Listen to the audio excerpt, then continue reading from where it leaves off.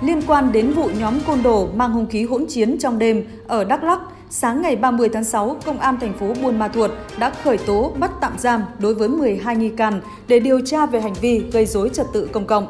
12 đối tượng gồm Nguyễn Thế Huy, 23 tuổi, Đào Bá Phúc, 16 tuổi, Lê Hoàng Anh, 23 tuổi, Phạm Văn Tuấn, 25 tuổi, Hoàng Công Sơn, 31 tuổi, cùng ở phường Tự An, Lê Long An, 26 tuổi, ở phường Thống Nhất, Vũ Thanh Mẫn, 32 tuổi, Trần Gia Huy, 19 tuổi, cùng ở phường Tân Tiến, Nguyễn Văn Tý, 24 tuổi, ở xã Khánh Hòa, Nguyễn Hữu An, 19 tuổi, Trần Ngọc Thiên Phong, 33 tuổi, cùng ở phường Thành Nhất và Phan Thanh Tài, 24 tuổi, ở phường Tân Lập, thành phố Buôn Ma Thuột. 12 đối tượng này đều ở nhóm của Nguyễn Đoàn Tú Khoa, 32 tuổi,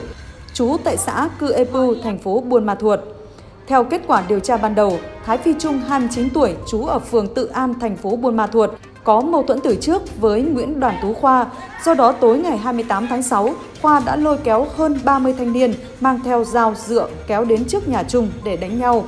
Tại đây, Trung cũng đã tập hợp khoảng 20 người, sử dụng dao dựa, chai thủy tinh đựng xăng để tham gia đánh trả, khiến hai người bị thương nhẹ. Tại hiện trường, lực lượng công an đã thu giữ hai xe ô tô, 12 cây dựa, một con dao, 7 chai thủy tinh có chứa xăng. Công an thành phố Buôn Ma Thuột cho biết, hiện hai kẻ cầm đầu đã bỏ trốn, cơ quan điều tra đang tập trung truy bắt để điều tra làm rõ vụ việc, xử lý theo quy định.